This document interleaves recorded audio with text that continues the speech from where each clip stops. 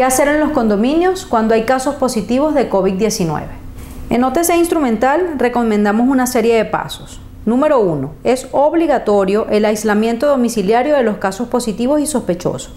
Y los familiares que aún se encuentren sanos deben guardar cuarentena durante 14 días, de manera de garantizar el aislamiento familiar y avisar a su médico ante la presencia de cualquier síntoma. La Junta de Condominios, Conserje, personal de vigilancia y administrativo debe tener conocimiento de todos los casos y colaborar con el cumplimiento de las medidas de seguridad.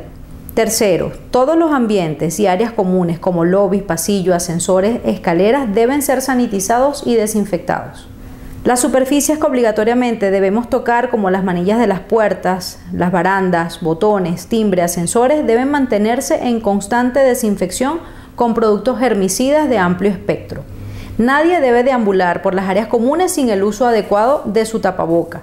Tanto el personal de vigilancia, limpieza y conserje deben portar todo el tiempo su mascarilla y tener disponibles dispensadores de alcohol y antibacterial. Por supuesto, el lavado de manos de todos los vecinos con agua y jabón es indispensable. Se encuentran totalmente prohibidas las reuniones en las áreas comunes y aquellas reuniones que sean impostergables deben realizarse de manera online o con un distanciamiento de 2 metros. Uso adecuado de mascarilla y la protección ocular.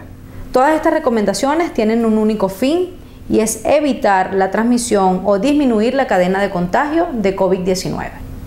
Pueden seguirnos a través de nuestras redes sociales, Instagram y Twitter, arroba piso OTC Instrumental.